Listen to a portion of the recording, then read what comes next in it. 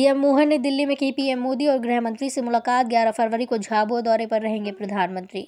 मुख्यमंत्री डॉक्टर मोहन यादव ने नई दिल्ली में प्रधानमंत्री नरेंद्र मोदी से मुलाकात की है। बता दें कि प्रधानमंत्री का 11 फरवरी को झाबुआ में कार्यक्रम प्रस्तावित है।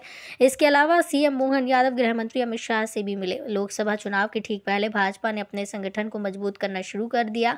झाबुआ में पीएम मोदी लोकसभा चुनाव दो हज़ार चौबीस का शंखनाद करेंगे। प्रदेश भाजपा ने इसकी तैयारियाँ शुरू कर दी हैं। बता दें कि झाबुआ आदिवासी बाहुल्य सीट है। ऐसे में विधानसभा चुनाव की तरह भाजपा इस बार भी आदिवासी सीटों पर बढ़त की कवायद में जुटी है। लिहाजा पीएम मोदी का झाबुआ दौरा बेहद अहम माना जा रहा है। झाबुआ में पीएम मोदी एक विशाल जनसभा को संबोधित करेंगे, जहाँ बड़ी सौगात दे सकते हैं। हालाँकि प्रधानमंत्री के दौरे की आधिकारिक पुष्टि बाकी है। जानकारी के अनुसार केन बेतवा लिंक परियोजना का भूमि पूजन कराने की तैयारी चल रही है। मुख्यमंत्री इसको लेकर अधिकारियों को निर्देश दे चुके हैं।